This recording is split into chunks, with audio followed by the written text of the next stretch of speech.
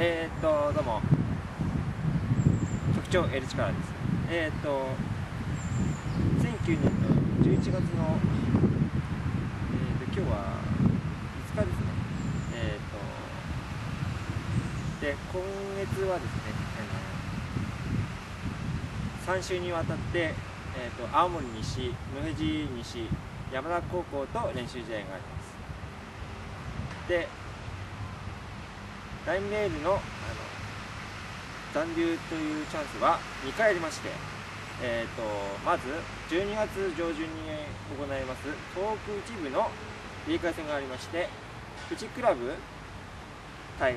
えー、富士クラブ2003対、えーと、塩釜 FCB 勢の試合があります。えーと、ブルーちゃんが昇格すると,、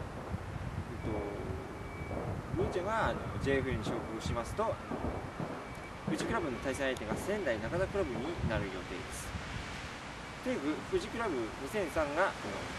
東北一部入れ替え戦で、えーと、入れ替え戦東北一部入れ替え戦は2週にわたって計1週2週と,、えー、と2試合戦ったんですね。それで2試合戦って上回りますと昇格一部昇格になりましてラインメルが残留という最初の他力パターンですね。他力パターン。えっ、ー、とあとは自力であのもし富士クラブ2003が一部昇格にならない場合はラインメール青森は、えーと、2部北入れ替え戦に回りまして、えーとあの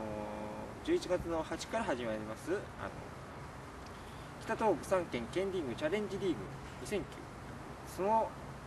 第2位と入れ替え戦を戦うことになります。まだまだ、えーと、やきもきした日々を過ごさなければいけませんがもう開き直って、えーとえーと、日々を過ごしたいと思っております。えっ、ー、と来年東北に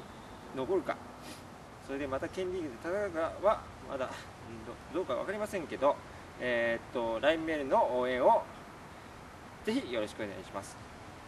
来季の、あの戦力は、えーとまあ、3名加入が来季決まってたと言ってましたが、えーと、2人またさらになんか加入予定だとかってなんと5名新たに新規含めて5名入るっていう情報です。ということなので、まあ、来季はもう今季のような苦しいのは多分はないと思っていますけど、えーと、ご期待ください。ということで楽しみじゃないけども まあよろしくお願いいたします。